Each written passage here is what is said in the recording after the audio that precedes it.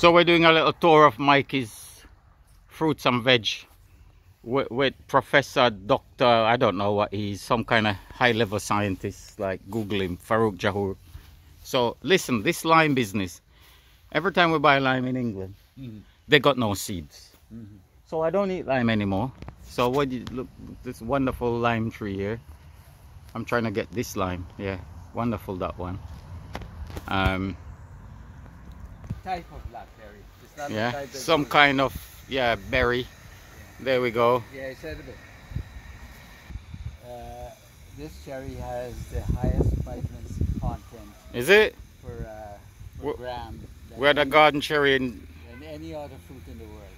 people used to, children used to be in our yard all the time. With the, we had a very big tree. Yeah, as a matter of fact, if you make a drink with this, it's the most concentrated Okay. Wow. Sugar apple. Sugar apple.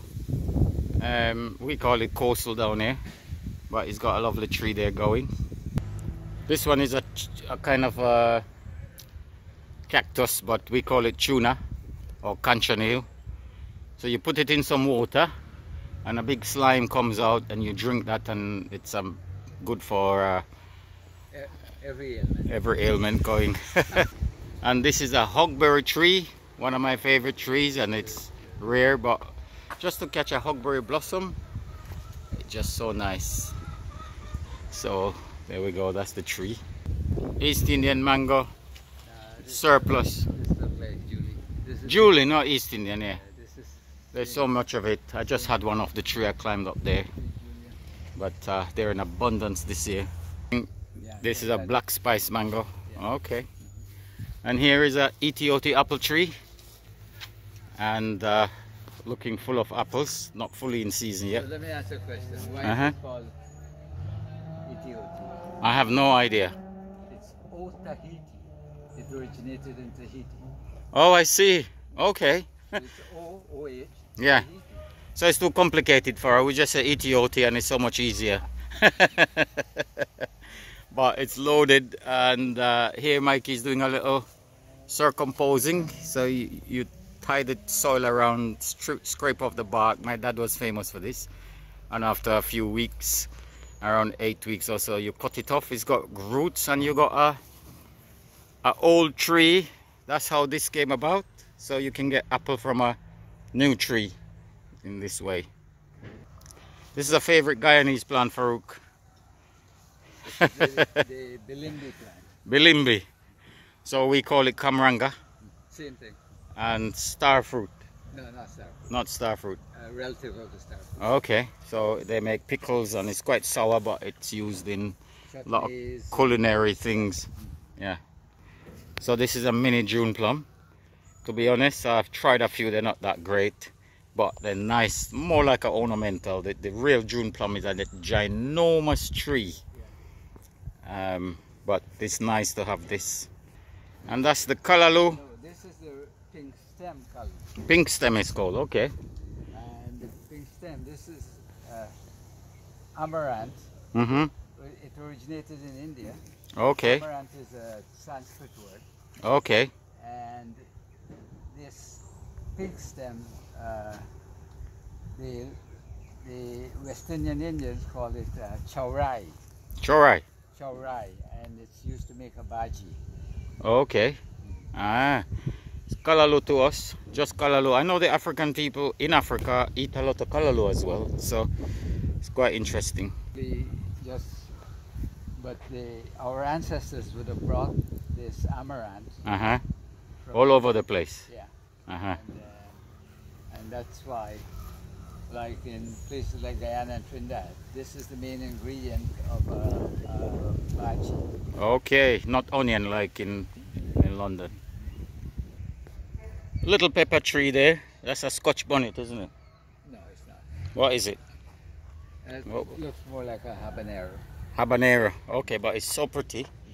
And this is the big one. We came over here. I haven't seen this for ages. My favorite lemongrass.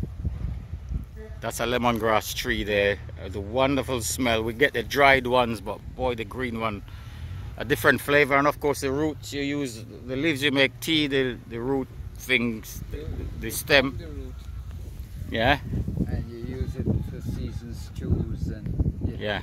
The Sri Lankan people use it in abundance, don't they? And this, Thai, Thai cuisine uses it. okay, I love it. It's a wonderful, delicate flavor. And this one is an Indian kale, they call it. So you just cook it like spinach kind of thing. Sorry, Malabar spinach. this one with the black seeds there we call it spinach but of course doesn't look like spinach but it's a climbing thing and uh, Farook is saying it's Malabar spinach Malabar. Malabar spinach and there's a grapevine there no grapes inside they probably get some tiny grapes Yeah. So when you when you make a sautéed uh, green leafy vegetable Mhm. uh, bhaji, which is the dish, the name of the dish, usually the East Indians would mix the Malabar um, spinach with the uh, chaurai bhaji. oh okay That Aye. is why Mikey has it. Okay. because In all likelihood, your mom used to do it. probably yeah and this is a nice little okra tree lady fingers bindi I think the Indian word for it is bindi do you know that word Yeah, it's been. So there's um, very beautiful tree. Food is medicine, medicine is food. We can hear it from the doctor himself. I don't like to call you doctor because you're way above doctor, but let's just say some little nursery, nursery lime, not not nursery rhyme, you know, nursery lime. Maybe he's gonna give these away or something. So Mhm. It's a huge callaloo in a in a metal cage, so it must be important. That's why he has it here. Yeah. Yeah. So this is you just come and pick fresh every day, fresh, fresh, fresh. You can see why Mikey has so much energy. Just uh, watch what he eats. Finally, we have a Scotch bonnet. Right, and if you, a lot of people don't realize this, but the reason it's called a Scotch bonnet is because it's shaped like a bonnet. Okay. Aye. See? Look, Yeah, look yeah, yeah. This one, you see that it's shaped like a bonnet. Okay, so that gives away the secret of the name. Yeah. And it's hot as hell. And through there, there's some um, plum tomatoes kind of thing going behind that fence. And there's a little pond there. That's where he gets his frog legs from, I think. A frog pond. no, I don't. That's a joke, okay? And that's a cocoa tree that uh, I think they call it edos in some in Europe.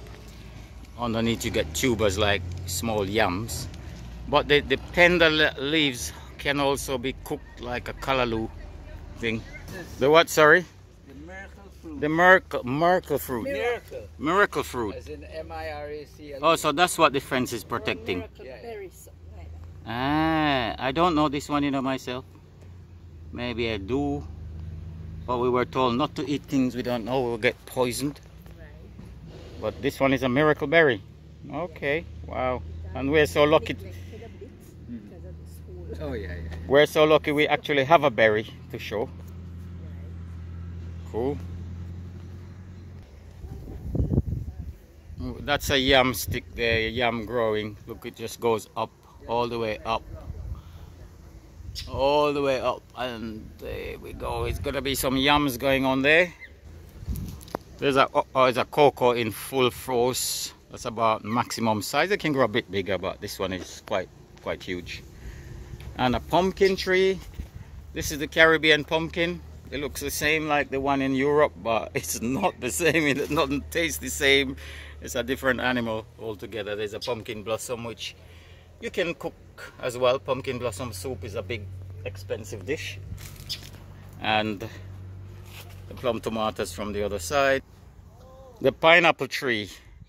So there we go. Someone has taken the fruit. So this has already borne fruit. This is the okra without the leaves. So let's have a close up of one of the okras. Bindi. There we go. Now this is a tamarind tree, a little young tamarind tree, and inside the tamarind tree is a bird which made my day. This bird is called a picheri. I'm sure there's a Latin name for it, but for us it's a picheri. Um, wonderful bird. A guava.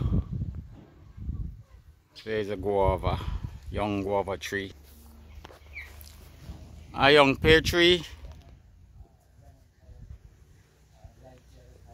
This is a perfect banana tree I wanted to film like this because this is how bananas go. This is a shiny banana because they're small and they're super sweet honey banana. Yeah, that's honey. And um, yeah, this is the the blossom thing here. I don't know the name of it, but this is where the doctor birds come and stick their beaks in and fly backwards and do all sorts of acrobatics to pollinate and stuff. And these banana trees grow in once they start growing other baby trees come up. They're called suckers. You have to literally cut some down. And uh, so nice to catch banana on the tree there. We have them as ornamental plants in London but they never produce fruit. So here we go. And Andrea I ask you on the camera off the camera is this a number 11 tree and you're asking me how I know you can tell I'm a countryman now can't you Soon as I saw those stains on it and those black lines that of the stain running down, oh. only number that's a signature of number 11. Ah. Uh -huh, that's a nice one. They have a, they a very distinctive flavor.